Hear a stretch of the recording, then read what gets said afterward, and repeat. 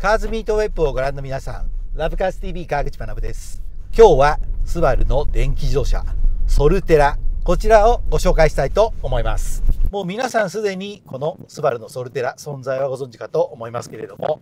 トヨタの BG4X と兄弟車としてですね、すでに発表はされたという、そんな状況でございます。そして今回はこのソルテラを初めて試乗という段階になりましたけれども、ご覧になっていただいてお分かりになりますように、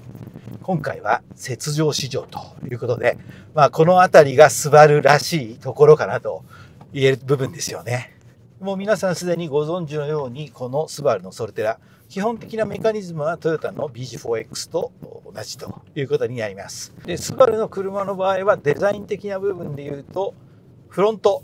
この顔つきがもうスバルの顔つきになっているのがすぐにわかるところです。ご覧になっていただいて分かりますようにヘキサゴングリルを前に置いてこれでですね BG4X とは全く異なる顔つきを与えていますし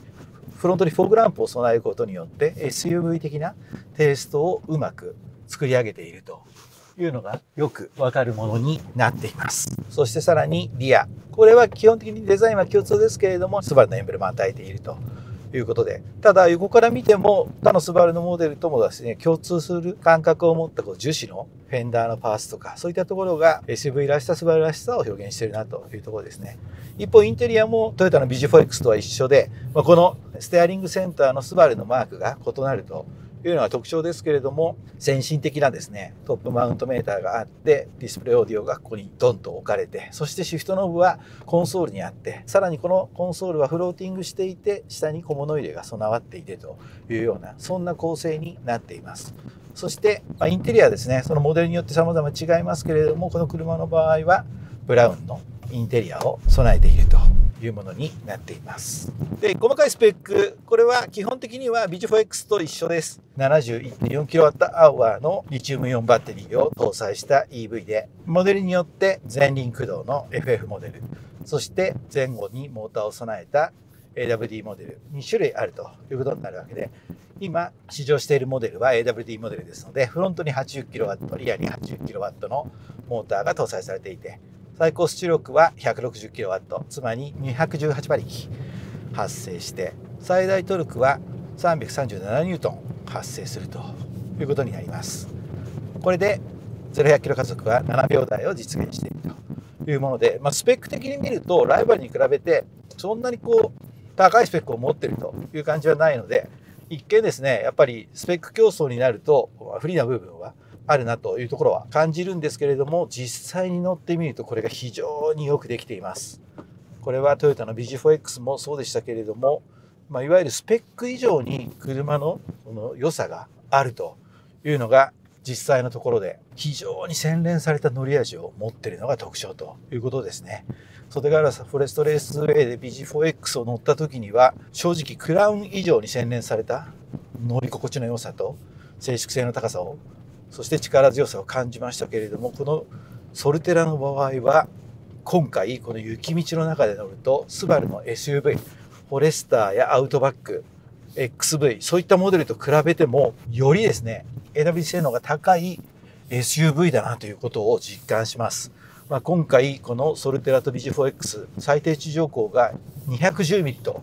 いうのはですね、まあ、これはスバル側の強いこだわりで実現した最低地上高ですけれども、これを確保したことによって、こういったですね、かなりの雪深いコースもしっかりと走れるだけの、そんな性能を実現しているというところですし、やっぱり前後にモーターを備えた AWD ということで、そのトラクション性の高さはかなり高いものがあります。今この雪深い中でもですね、踏むとこれだけの加速を生んでくれるというですね、相当にこう弾かれるように前に出ていくだけのですねそんな走りが実現されているわけですね。しかも安定性もやはり高いですしトラクションが瞬時に出せるというメリットに加えて四輪でですね前後でモーターをコントロールしての安定性の高さも確保できるという部分もあるのでこの良さというのがすごく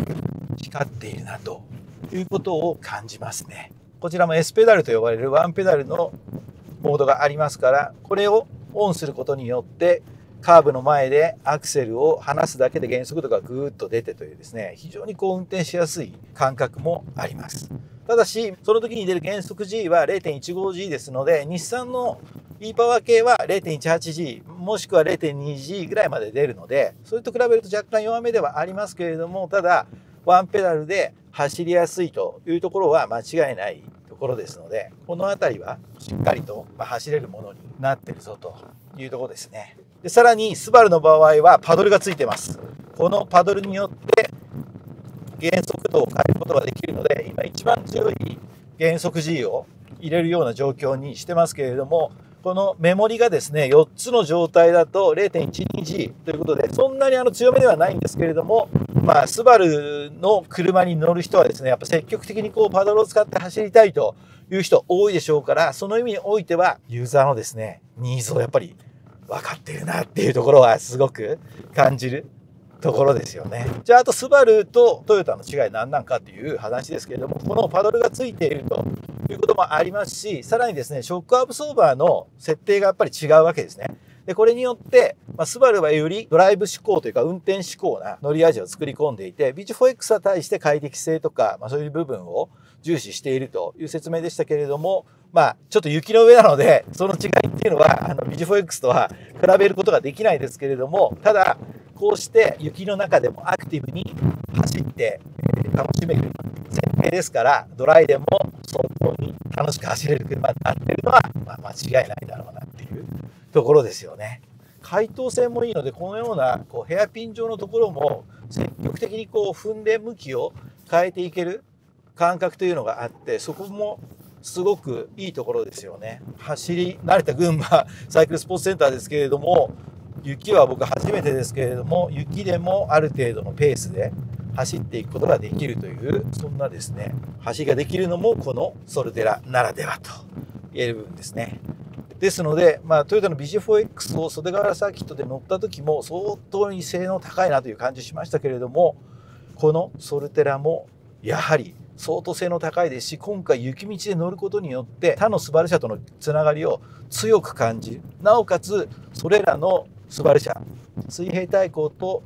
機械式の AWD でできなかったですね。制御までできるようになって今まで以上にですねスバルの車を感じさせるそんな車になってるのも特徴的な部分だなというところですね。ですので今回このソルテラ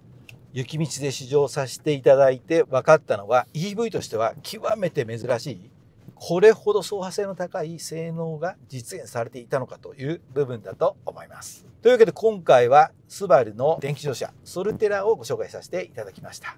なお、ラブカーズ TV ではより詳しくこちら取り上げてますので、そちらも合わせてご覧いただければと思います。